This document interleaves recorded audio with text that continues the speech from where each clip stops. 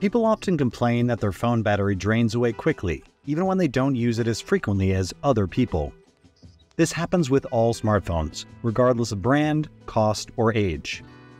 Given the universal annoyance of this problem, let's look at the top four reasons why phone batteries discharge when they're not being used.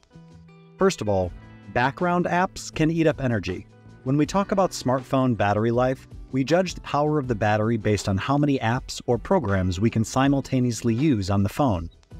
However, while we only judge the battery based on the apps we actively use, the battery must provide for and support all apps and programs that run on the phone, including background apps. As the name suggests, these apps quietly run in the background. Even when you put your phone to sleep and turn the screen off, it still has some functions, such as communicating with towers and staying alert for incoming texts and calls.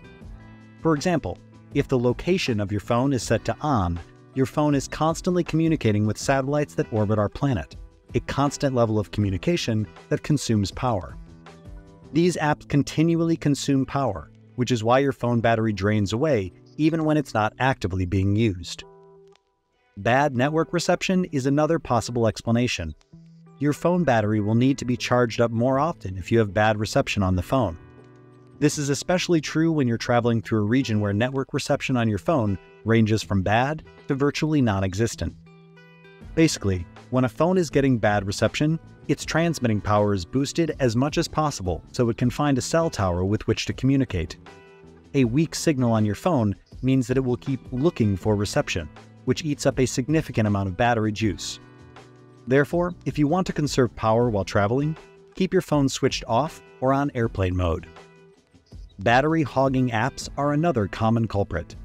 Some apps are just designed in a way that consume a lot of power, such as most social media apps. These apps usually have a ton of features, softening the blow of their battery demand.